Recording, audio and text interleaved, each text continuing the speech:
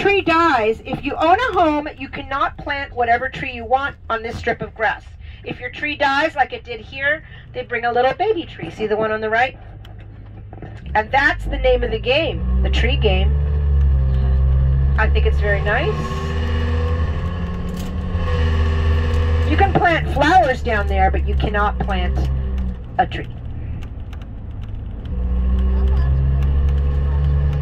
All right, so we're heading over to Rodeo Drive. What I'm going to do is I'm going to drive you down it so you can see what you're going to see when you get out. All right. There will be restrooms right when you get out. Okay. Very nice restrooms, okay. you guys, for uh, being public. You know, uh, Beverly Hills has a reputation to upkeep, even in their restrooms. So I'm going to drive you down Rodeo Drive, and then I'm going to drop you off by Beverly Gardens Park. You're going to love it, and then you're going to get out and walk around. Okay.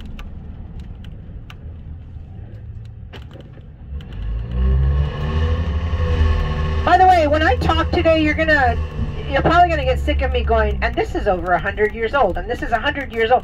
Pretty much everything is hundred years old around here, because Los Angeles is not a super old city.